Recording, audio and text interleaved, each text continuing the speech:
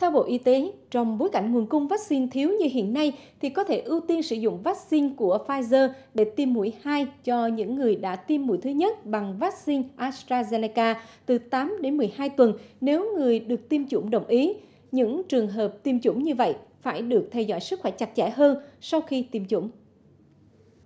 Hiện nay, hướng dẫn của các nhà sản xuất vaccine đều khuyến cáo sử dụng cùng một loại vaccine phòng COVID-19 để tiêm đủ liều cho một đối tượng Tuy nhiên, do khan hiếm nguồn cung nên một số quốc gia đã xem xét và triển khai tiêm mũi 1 vaccine AstraZeneca và tiêm mũi 2 bằng vaccine của Pfizer và ghi nhận cho thấy vẫn đảm bảo hiệu lực bảo vệ phòng COVID-19.